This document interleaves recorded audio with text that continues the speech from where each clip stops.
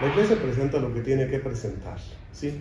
Y bueno, eh, la persona tiene libertad de, de, expresión, ¿verdad? Pero también la iglesia tiene libertad, eh, porque es un derecho también, de expresar lo que es del Evangelio. Y en este caso, la familia cristiana se fundamenta en, en, Dios, se fundamenta en la palabra de Dios y obviamente en el Evangelio de Jesucristo. Y ese es un riesgo, claro, para los más jóvenes que les ha tocado nacer y crecer en este ambiente.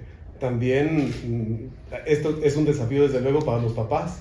¿Cómo hacer que los niños crezcan precisamente en valores profundos, en valores fundamentales y que no se deje manipular, porque al final de cuentas es una manipulación camuflada, una manipulación cam camuflada de libertad, pero es finalmente una manipulación.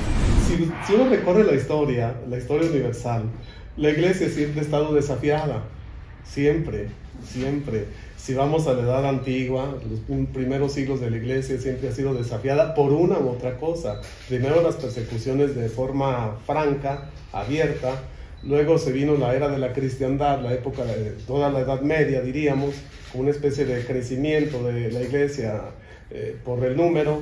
Luego viene una quiebra en el Renacimiento, Edad Moderna, con la Revolución Francesa, etcétera, etcétera. Y siempre son desafíos. Ahora nos están, se desafía la iglesia, eh, sí, eso siempre va a haber, más bien la iglesia, qué tan preparada está, eso sí, nos toca a nosotros responder de acuerdo a una cultura del tiempo, pero siempre basándonos en principios inmutables, que no pueden ser cambiados todos los días, sino que obviamente son desafíos.